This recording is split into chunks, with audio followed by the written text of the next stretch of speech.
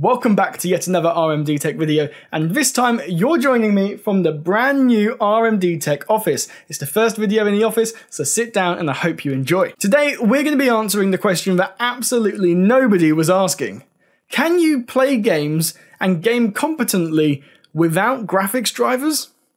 Well, it's a question that not many people ask, but it's one that needs answering. Typically, when you install Windows, Microsoft provide what's known as a basic display driver adapter, and what this does is it pretty much allows your graphics card to communicate with Windows so that you can get the bare bones experience and install your proper drivers from Nvidia or AMD. It's not designed for gaming, but what happens when we try and push it to its limits and really stretch out as much performance as possible using the display driver made by Microsoft? Well, stick around because in today's video, I'm going to be getting my RX 6800 and testing it out with Microsoft's basic display adapter to see what games we can actually play without any software from AMD.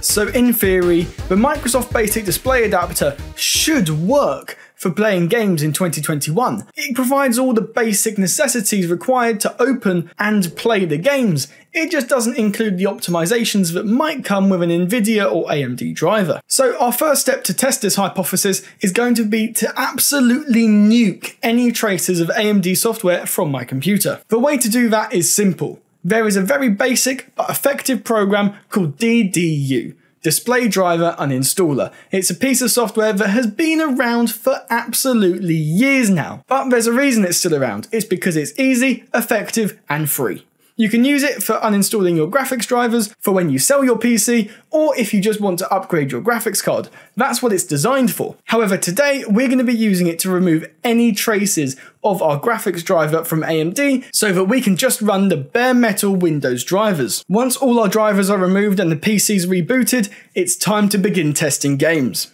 So whilst DDU's getting to work in the background, how about I tell you all about today's sponsor, CompCity Giveaways. They've got all sorts of competitions available which allow you to get great consumer hardware such as graphics cards, CPUs, and entire gaming PCs at a fraction of the price. You can enter one of their raffles using the link in the video description, and don't forget to use my code RMDTech10 to get 10% off any purchase. So let's check back in and get gaming without any graphics drivers. Okay then, so let's kick things off by trying a little bit of Rocket League. It's a really basic game that can run on a potato, so maybe it can run on the Microsoft Display Adapter as well. Okay, so straight away Rocket League has started and it is looking buttery smooth, I have to say. We're running at a gorgeous 4 FPS. Whew. Try not to get too excited, ladies and gentlemen. But that's okay, this is just a menu. Perhaps it will improve when we actually get into a game. Oh, and look at this. Our FPS is already skyrocketing. We are at 30 frames per second. Whew. Okay, so we are in the game. And, oh, yeah, our FPS has tanked. It is down to 3 FPS. In fact, the game is just completely unresponsive. This is, oh, this is not going well. Here we go. Oh, look at that. Yeah, so this is very PowerPoint presentation-esque. But never fear, let's see if we can improve things by changing our graphic settings. Because as far as I'm aware, they're still pretty high. Yes, okay, so let's Let's take these all the way down to high performance and see if we can get a playable experience. Okay, and we're even going to go... Oh, I was going to say we'll go down to 720p, but it won't let us. So, it won't let us because the drivers just don't support it. Okay, that's fine. Let's see how much of an FPS boost we get from turning the settings down. Are we going to hit that 60 FPS average? We have doubled our FPS. I think I saw a 6 FPS figure in there. But my god, this is uh this is painful. You, you you cannot play Rocket League on the Microsoft basic driver adapter, okay? This is confirmed. Rocket League does not work. But let's try something else. Okay, so let's try playing something old. Just Cause 2 is a game I used to play in my childhood, and this is actually a game that ran really surprisingly well on our Wish graphics card. So perhaps if it can even run on a Wish graphics card, it can run on the Microsoft Display Adapter. And if it can't, then that is confirmation that Chinese scammers are better driver programmers than Microsoft themselves. But so far, this is looking promising. This is, you know, significantly better than Rocket League, already running at double digit FPS. We're looking at 19 here already, with CPU usage at about 96%. Now that is mental considering that I'm running a Ryzen 5 3600 and this game came out over a decade ago. So what we can see here is that CPU usage absolutely skyrockets when you try doing anything intensive with the Microsoft Basic Display Adapter installed. I don't know what the CPU usage would be under typical circumstances, however I can tell you for a fact it certainly wouldn't be in the 90% range. Okay, so here we are in the game and, mm, okay, no, we've, the menus were promising and there we go, DirectX fatal error. The, the game has crashed. We were in the game for maybe a couple of seconds, but no, that is it. We have crashed. But that's okay. Perhaps we'll have better luck playing Minecraft. Okay then, and straight away, OpenGL is not supported by the driver. What a surprise. And Minecraft has also crashed. But Minecraft didn't always run on OpenGL, so perhaps we'd have better luck running an older version of Minecraft. Perhaps we could even go back as far as one of the betas or alpha versions and see if that will run.